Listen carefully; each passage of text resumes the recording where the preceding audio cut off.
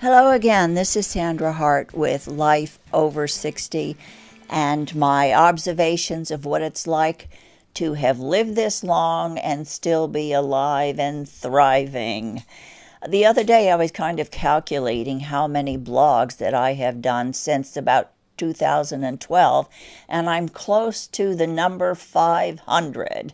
So while perusing the book read between my lines that I wrote that compiled some of these blogs. I happened upon a blog that I wrote a few years back about my son Emerson Hart, who is the lead singer composer of the band Tonic. It's quite relevant, I think, today because Tonic just finished celebrating their 20th anniversary of their first record album. Lemon Parade. It went multi platinum and garnered them a lot of awards right out of the chute for their very first album. So Emerson visited New York with his band one time a few years ago, and it prompted me to write a blog about what it feels like to be old parents of a really young super rock star.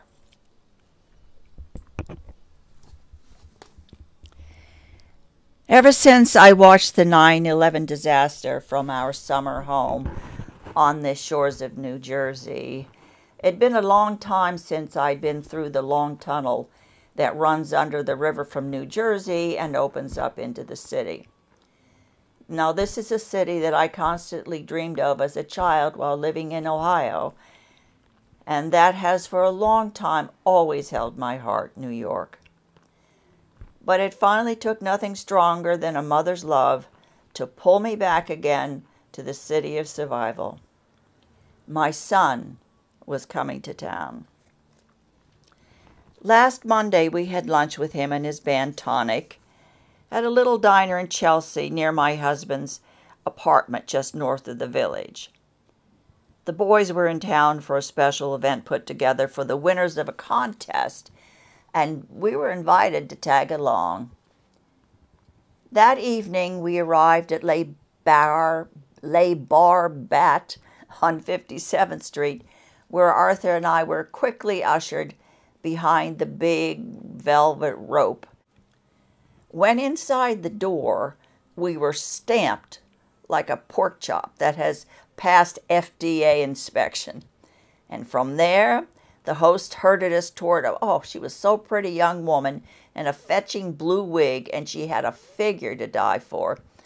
Well, she tagged us with Technicolor hospital like bracelets that would, quote, allow us two full free drinks, end quote.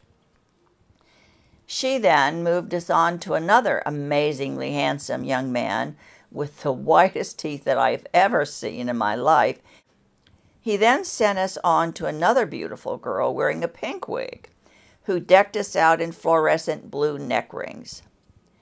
I think she said something about free massages and care card reading, but before I could question my hearing, that was altered severely by my rock concert earplugs, we were quickly moved along like a herd of cattle by the swell of enthusiastic tonic fans behind us. Now, one would think that after a few years of attending rock concerts and hanging out in the dressing room with kids who are my age divided by four, that I would be used to it by now. But long ago, I have given up my pathetic attempts to blend in and not be so obviously, what are they doing here? The truth is, even the clueless figure out that Arthur and I have to be someone's parents. Trust me, if you ever want to feel your age, just go to a rock concert.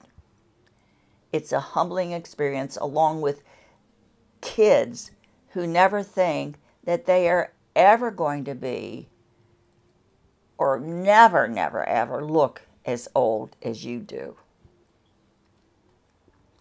But in the end, there is sweet revenge for old folks like us. While others are tramping through the cold to the city garages or waiting in the chilly night wind for a cab, bus, or subway to take them home. Life can be sweet for the parents of a rock star. For instance, when your son gives you a lift at 3 o'clock in the morning back to your Chelsea apartment in his new bright tour bus that is as long as a New York City crosstown block.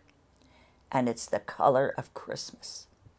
And better than that, when he even drops you smack dab in front of your canopied door, you know, oh, do you ever know that you have a special life? What if the few bleary eyed people wandering in the streets at that ungodly hour were scratching their heads at us two tired, button down seniors hopping, well, actually, if you want to be honest, dragging out of this crimson machine made only to carry young, hip people.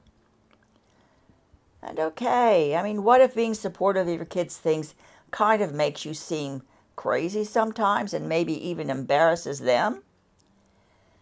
The truth for Arthur and I is that there are no better perks than stepping out of a big red bus in the middle of the morning after a great night of just forgetting how old we really are.